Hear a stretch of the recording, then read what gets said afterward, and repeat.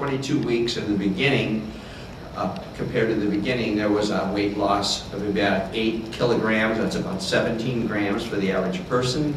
The weight loss ranged between 3 and 12 kilograms for the entire group.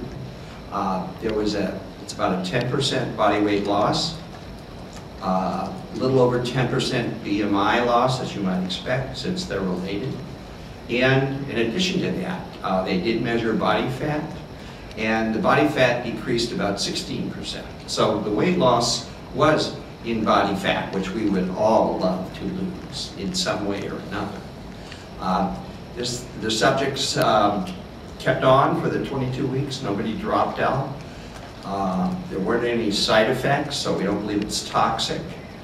The caloric intake did not change with these subjects, so it's not a appetite suppression kind of mechanism.